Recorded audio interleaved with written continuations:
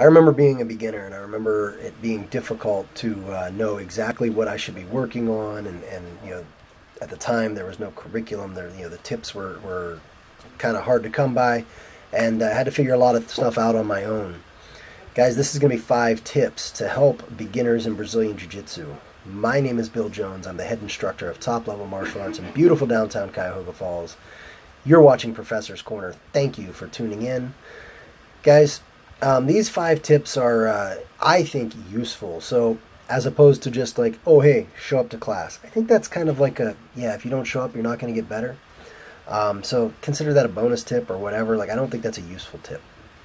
All right, so tip number one, um, and these are in no particular order. Uh, tip number one is to learn one submission, one escape, and one reversal from every position.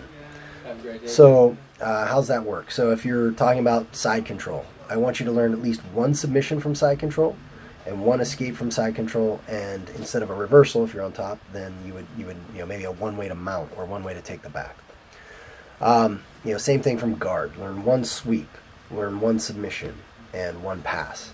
So think about that. One one type of move from each position, um, just to get you started. And if you focus on that, then when you go to roll, you're going to have a much better idea of what to do in each situation.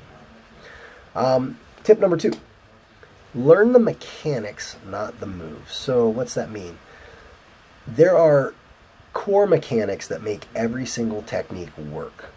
And if you've ever uh, watched, um, you know, like high level guys train, you'll see them do things that, that seem like they're like you know, well, how'd that guy think to do that? And it's not because he learned how to like flip and then roll upside down and then do that. It's because he understands the mechanics or she understands the mechanics well enough that they can um, apply them in multiple situations, even if they didn't exactly learn it in that situation. They, they're building those mechanics into their body. Things like shrimping, things like shrimping with the top foot, shrimping with the bottom foot, Things like uh, a, a uh, Granby rolls, forward rolls, backward rolls, um, all these things, bear crawls, crab walks, um, leg movements. Focus on learning those things over techniques specifically because those are the things that build into a technique. Learn how to climb a body with your legs. You know, these, these things are going to build up and eventually allow you to come up with moves on your own. You know, you'll learn an arm, you know you'll know an armbar, but you'll be able to get an armbar from a different position just because you have the mechanics already built in. And I think that's where a lot of people focus on a technique or a series of techniques rather than just mechanics, and that's a really hard way to learn. Um, for the first few months of your training, stay off the internet as far as looking for moves. Uh, this is number three, by the way. Uh, you know, don't don't be looking for new moves. Don't be looking for uh, you know specific escapes. Don't be don't be doing any of that. Just focus on what your coaches are telling you to do, um, and this will help you at first because there's a. I mean, and don't get me wrong. There's a ton of great, great, great grapplers having who have academies on the internet now. Marcelo Garcia, the Gracie Academy. I mean, uh, I think I think Saulo Ribeiro's got something out there. Keenan Cornelius has stuff out there, guys. There's a lot of great stuff. Um, but if you just look at that, you, you might be missing some of the, the, the core principles that are really important um, that you're going to learn person to person, face to face from your instructor. So before you go onto the internet looking for ways to escape or ways to do this or that, focus first on the moves that you're being taught in the academy. And once you get really good at the core curriculum that you're being taught, that's when it's time to go out and look for other things. All right, so number four, um, find a black belt buddy. That's what my friend David Porter always says when you go to a seminar, you should find a black belt buddy. And what that means is you want to train with people who are experienced. So when you're training with, uh, if you're a white belt, brand new, and you're training with another white belt who, I don't care how new of or how old of a white belt they are, a white belt is still very new. Uh, you know, they've been training usually less than a year. Um, that person's not going to be able to help you as much as someone like a purple belt or a brown belt or a black belt.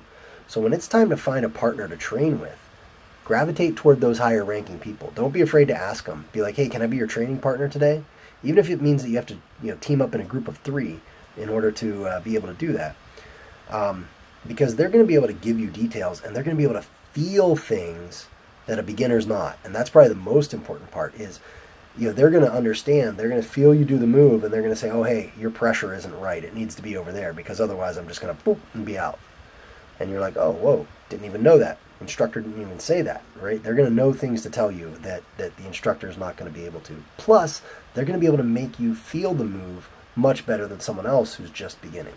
So look for those black belt buddies, as uh, I like, as we like to put it. Um, and the fifth thing is commit to training long term. Uh, Jiu-jitsu is hard. It's very hard. So if you're you're coming across this video and you're brand new and you're not sure, you're still on the fence, man, is this going to be too hard? It's going to be too hard. It's very hard. So don't expect it to ever be easier. It, it's always hard. So you want to commit yourself to training long term in order to get good. Uh, one of the things I recommend that I always did was, uh, you know, to to take an assistant instructorship or something like that that puts you in a position where you have to think long term and you have to um, be willing to do more than everybody else.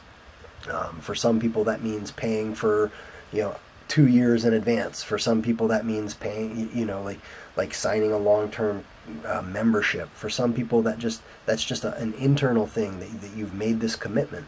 You know, it doesn't have to be an outwardly, you know, grandiose gesture like paying for X amount of years or whatever. It doesn't have to be that. But you know, start getting notebooks together. Date them. Say this is the notebook for the month of November 2019. This is for December 2019, and write it down you know, so that you have all that stuff ready.